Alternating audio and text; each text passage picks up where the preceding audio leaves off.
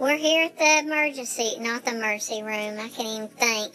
We're watching that stupid voice. Dancing with the Stars is on.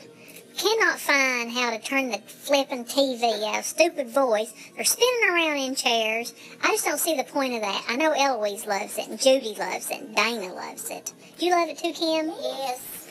Kim's the one got me started on it. Kim, do you love the voice? Yes. What do you love about the voice?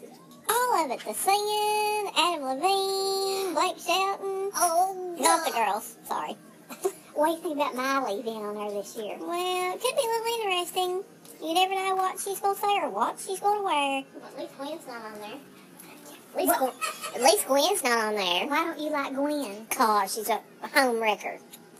I don't like her either. She's like a hussy. You know, taking Blake Shelton from Miranda. If I was Miranda, have kicked her uh, butt, you know. What do you think, Teresa? I'd have really kicked her uh, butt. I don't like her either.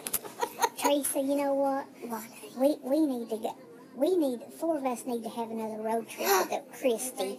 Oh, yes. We, got to. We need another Virgin We- we- Oh, well, a lot of them right now I could handle. Look at my See? Did you see her eyes, them bags under them eyes? You you could pack pack food in them.